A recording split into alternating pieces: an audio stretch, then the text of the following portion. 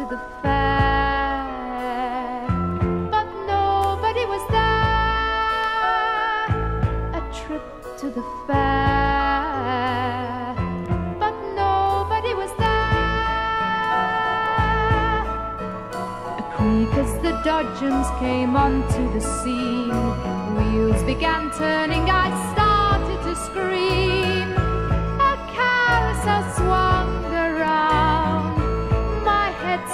and the ground.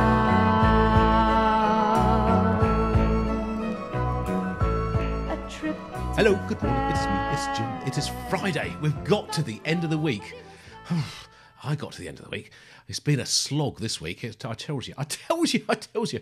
Um, yeah, uh, little boy's been off sick all week. Uh, eventually getting back to school today on the last day of the week, which means I can get out here and start listening to music and play some stuff. This is Scheherazade and other stories from Renaissance.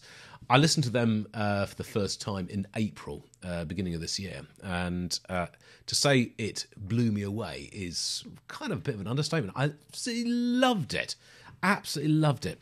A really, really interesting sort of spin on the whole sort of progressive music thing. Sort of really leaning heavily into into the into the classical side of it. And um, Annie Haslam's vocals are just otherworldly, just beautiful, absolutely sensational. And some of the melodies that she came up with, uh, just wow, absolutely. I, they're kind of tunes that as soon as you hear them, it's like you've known them all your life. They're just so, just so so perfect, so such perfect little melodies and uh, just so I'm hoping that we're going to get sort of more of the same on here. So this is a an album of two sides. We have where's my glasses? Um, side one, uh, we have three tracks: uh, "Trip to the Fair," "The Vultures Fly High," and "Ocean Gypsy." But side two is made up of one big piece, and it's called "Song of Scheherazade." Uh, it's made up of nine different parts fanfare, the betrayal, the sultan, love theme, the young prince and princess, as told by Scheherazade, festival preparations, fugue for the sultan, the festival, and finale. Now, on the back here, you won't be able to see it because the light's shining on it and stuff, but it's a little bit of a um, background upon what this is all about. Um, Scheherazade. Uh, so Scheherazade is a. Let's start, let's start that again. Um, upon discovering that his wife had been unfaithful to him, the Sultan, convinced that all women were similarly incapable of true fidelity and determined never to be deceived again, vowed to take a virgin bride every day. and then have her executed at dawn. Oh, that's a bit extreme, isn't it? Um, this caused great distress to the people of the city, as each day another beautiful girl was sacrificed to the Sultan's pride, until Scheherazade was chosen as his new wife. In an attempt to end the slaughter, Scheherazade asked, as her last request, to tell a story to her sister and the Sultan until her execution at dawn. Drawing on her knowledge of poetry and Eastern legends, Scheherazade told a tale which totally enthralled the Sultan, but, as she intended, did not finish before dawn. Faced with the dilemma of having her put to death or Hearing the end of the story, the Sultan's curiosity won, and he delayed her execution until the next day. This continued for a thousand and one nights until the Sultan, by now deeply in love with Scheherazade and unable to face losing her, renounced his vow and she remained his wife for the rest of their days. Well, isn't that lovely? Now, whether she wanted to be his wife or not is, is sort of not really sort of talked about, but uh, certainly she's managed to sort of keep her head on her shoulders, or however it was that she might be executed. So yeah, um, that's that's side two. Um, that sounds really interesting, doesn't it? Right, let's go. Oh, by the way, yes, I have been um, going through the the poll, the list, the the votes for what your what you think is is your favourite video of mine for 2022. So I'm sort of pulling all that together and compiling that, and we'll start making that I've, I've I've already shot the intro for it, but I need to start doing the sort of the rest of it now. So the uh, I'll be that'll probably be up at some point next week. But uh, in the meantime, let's listen to Scheherazade and Other Stories by Renaissance.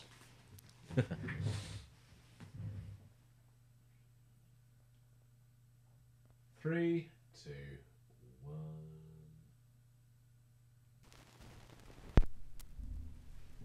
There.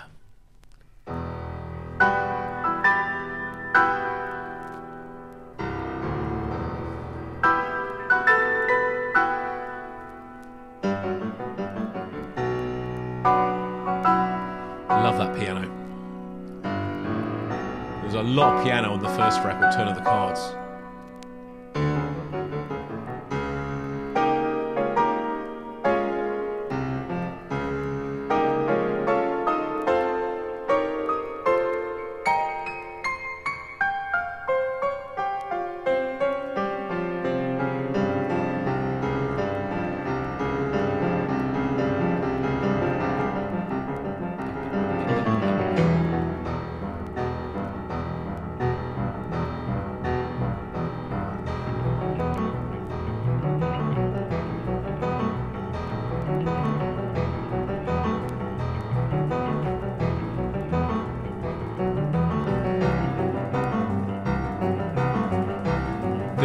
Sounds really good.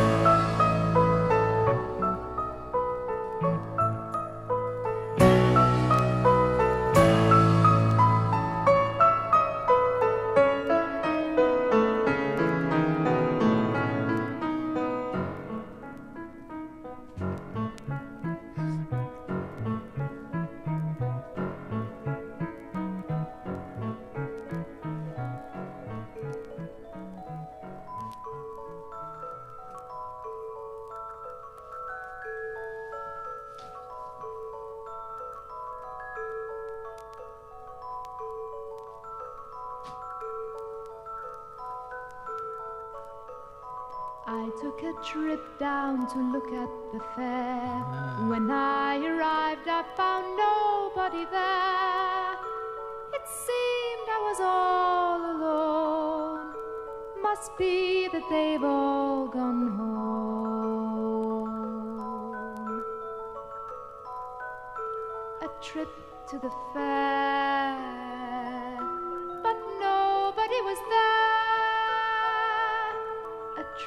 To the fair, but nobody was there. Voices of yesterday make not a sound, even the roundabout stop going round. I wonder just what it means. Is everything how it seems.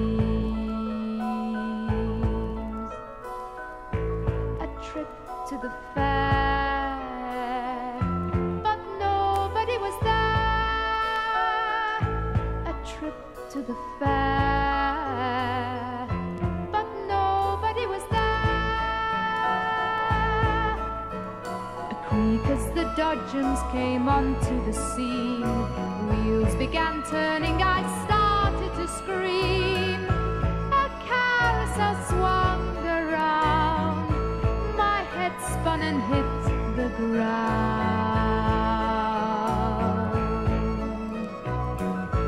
A trip to the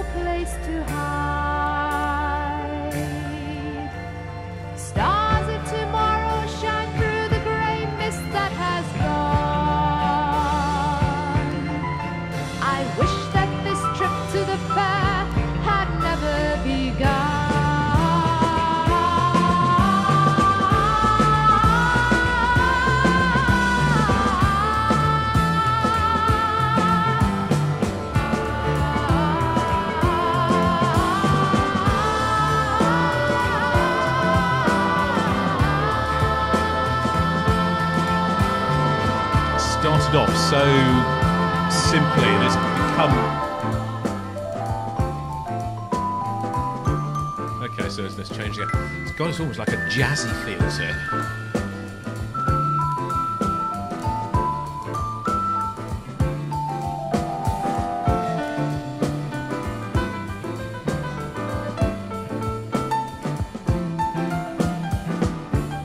It's really cool.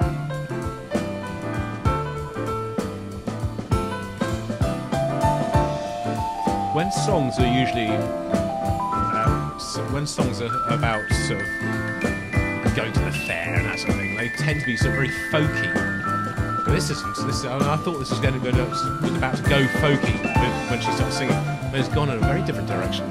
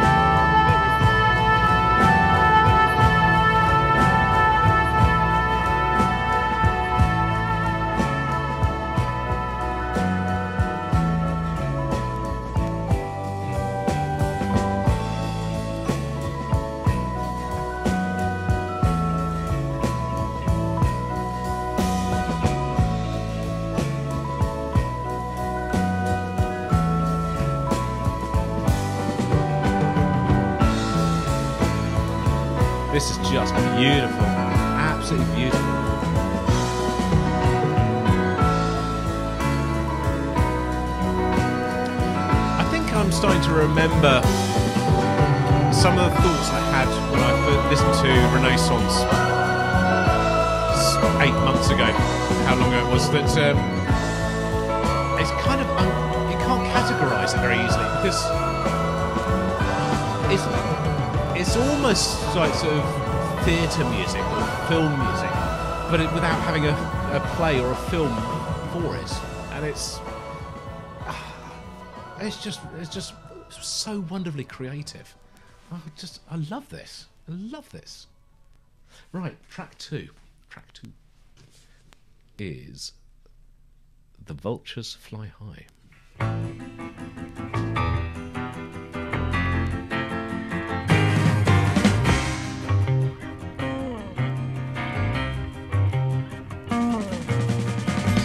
While in the streets of all our fears, bass they guitar reign sounds lovely.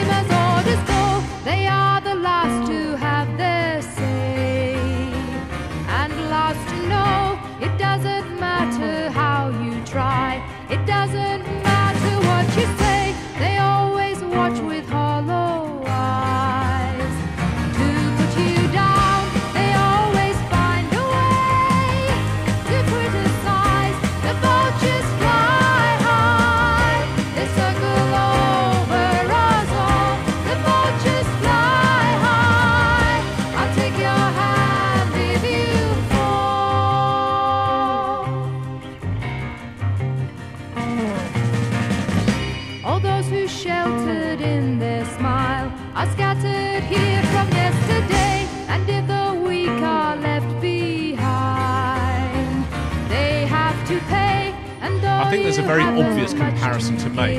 Um, I don't think I made it with- with Kate. Bush, but This predates Kate Bush by some years. five, six, seven years. Whether Kate was influenced by this, I don't know. But, um, there are similarities. Not just because they are both female singers.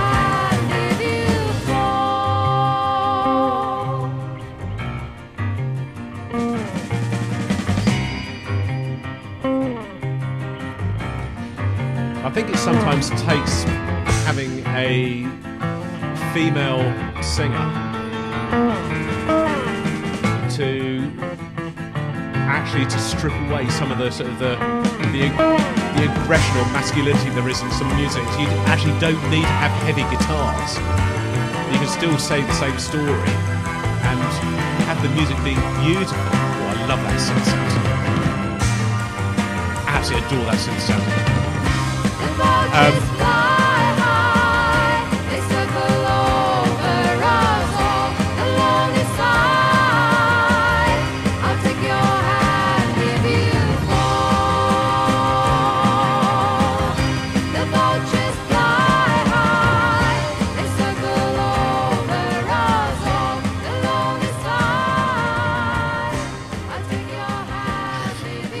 lost in what I'm saying. I can't remember what I'm saying. Yeah, yeah. You don't need to have sort of uh, sort of like the heavy guitar, or not even heavy guitar, or guitars at all. Um, and sometimes it takes a. I may be sort of generalising, but perhaps you need a woman to actually say that's just a load of bullshit. You don't need all that stuff. Just tell the story, tell, play the music as it is. Don't be afraid to not have a guitar in the band. I'm completely wrong about that. It's, uh, Try to take it all away. Learn her freedom just inside a day and find her soul to find their fears allayed. Try This to is make her love Ocean Gypsy. own. They took her love, they left her there. They gave her nothing back that she would want to own. Gold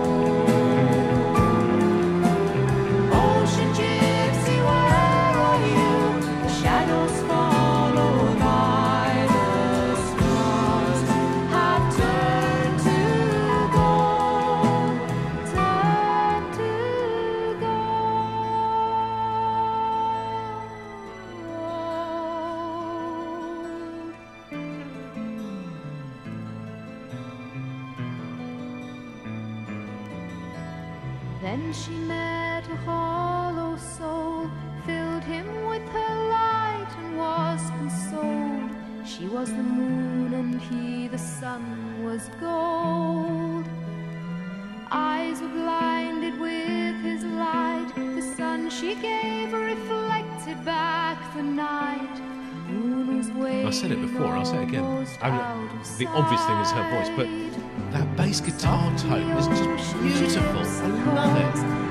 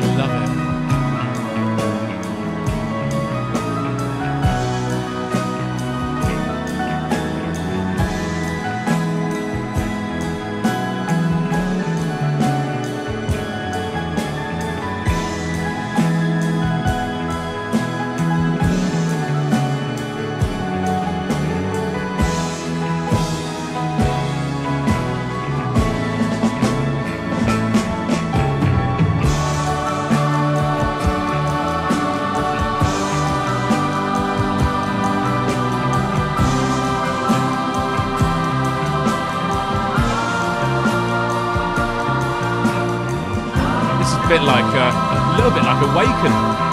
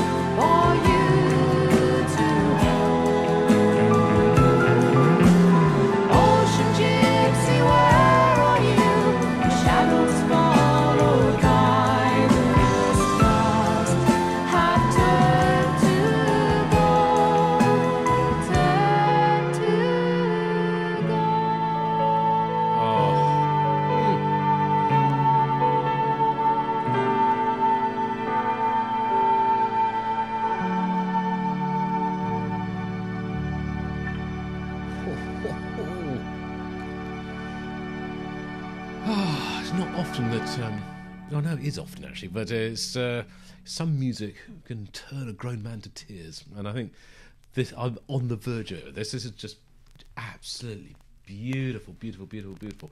Um, right, let's um, rescue that off there.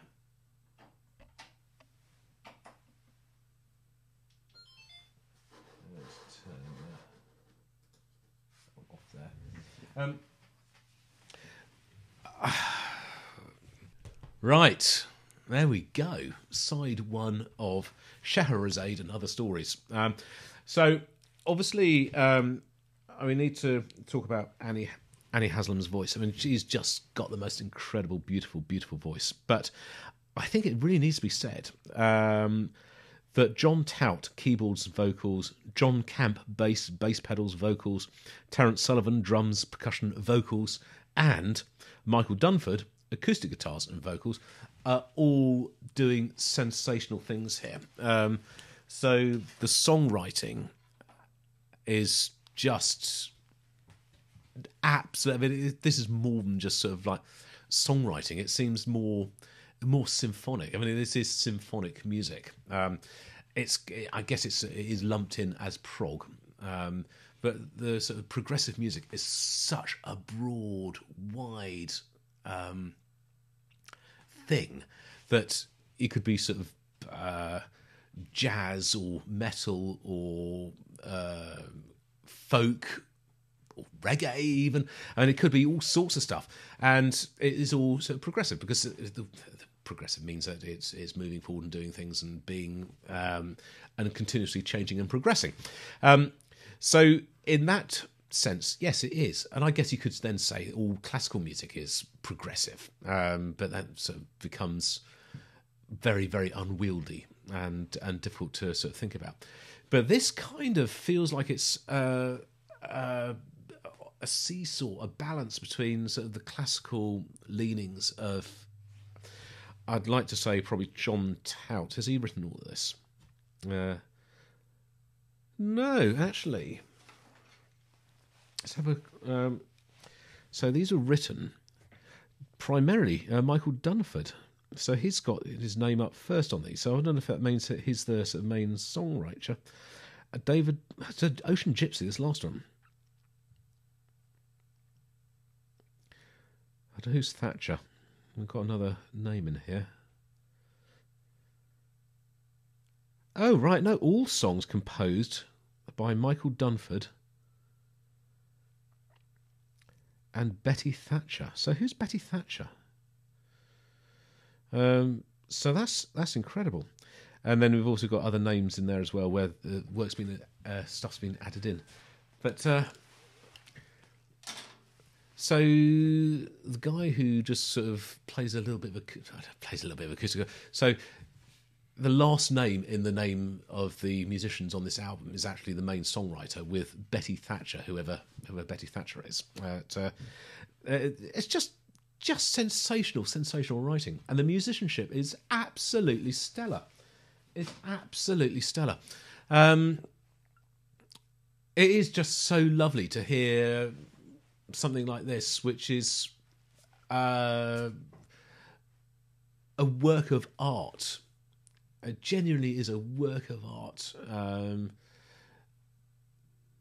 and I don't know how else this could be presented other than on a record. Um, well, CD, obviously, and I don't mean that, but uh, it it just it's just wonder absolutely beautiful, beautiful music. Um, I'm kind of